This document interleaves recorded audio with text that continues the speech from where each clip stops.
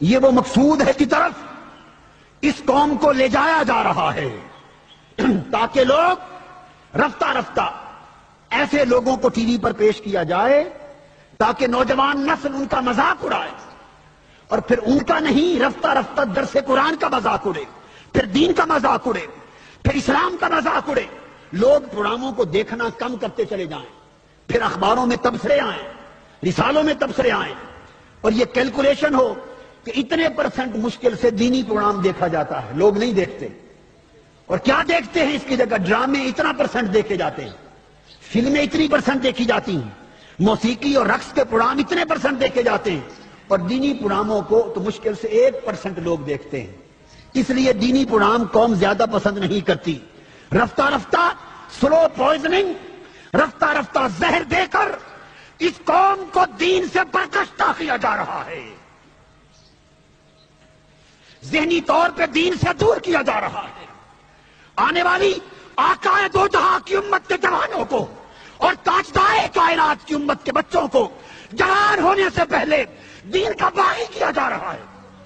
दीन से बेकार किया जा रहा है। आका गुम्बत खतरा से तवज्जो की गई। आपकी उम्मत के खिलाफ बड़ी साजिश हो रही है। दीन के खिलाफ बड़ी साजिश हो रही है। दीन को गाली देने की ज़रूरत नहीं। दीन को गाली देने की ज़रूरत नहीं। दीन को बुरा भला कहने की ज़रूरत बोलिए नहीं। दीन के नारे लगाते जाओ। इस्लाम के वाज करते जाओ। इस्लाम के नारे लगाते जाओ। इस्लाम के नाम रखते जाओ। इस्लाम के नाम पर प्रोग्राम दो। मगर ऐसे दो कि कौम देखना पसंद न करे और वो वक्त आ जाए कि हुक्मरान कहें हम क्या करें जी? कौम इस्लाम को पसंद नहीं करती। कौम दीनी प्रोग्राम देखना ही नहीं चाहती। ये देखिए इतने खत आए हैं। कौम दर्द सुनना ही नहीं चाहती। कौम को इस दोराहे पर लाकर खड़ा करना। ये कौम वही है। ये कौम वही है जिसने निज़ाम मुस्तफ़ा के नाम पर अपने नंगे सीनों पर लाहौर की शहरों पर गोलियाँ खाई थी। जिसने खत्म नबूवत के नाम पर अपनी जाने कुर्बान कर दी थी। जिसने ला इल्लल्लाह के नाम पर इज्जतें लुटा दी थी, अपने खून के पैसा बहा दिए थे, वतन छोड़ दिए थे, तिजारत छोड़ दी थी और हिंद छोड़कर पाकिस्तान आबाद कर दिया था।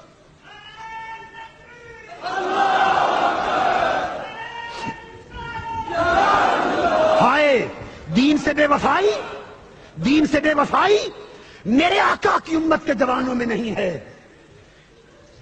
ये डेढ़ दो हज़ार लोग एहतिकाफ में बैठे हैं। दीन से मोहब्बत है तो बैठे हैं। और कसरत के साथ जवान बैठे हैं। और और कसरत के साथ जवान बैठे। आप एहतिकाफ के हुजरों में जाके देख लें। ज़्यादा अक्सरियत जवानों की। कुर्बान जाऊँ आका की उम्मत के जवानों पर तुम्हारी जवानियों को बर्बाद किया जा रहा है। तुम्हारी जवानियों के खिलाफ साजिश हो रही है। ऐ कौम, कब खाब गफरत से बेकार होगी? कब समझ में आएगी बात? दीन के खिलाफ बहुत बड़ी साजिश हो रही है। न गाली देने की ज़रूरत, न बुरा भला कहने की ज़रूरत खुद ब खुद काम हो जाएगा। और उसके मुकाबले में, मौसीकी के बड़े बड़े प्रोग्राम दो फ़िल्में दिखाओ, नाच गाने दिखाओ नफ्स खुश हो ताकि कौम का एक जहन बन जाए, रुझान बन जाए। कुरान मजीद ने फरमाया कि लोगों, कत्ल तो कत्ल था, वल फितना तो अशद मिनल कत्ल, और दीन से बेगबरगश्ता कर देना, और दीन से बेजार कर देना, और दीन किरा से हटाकर गुमराह कर देना यह कत्ल करने से भी बड़ा जुर्म है।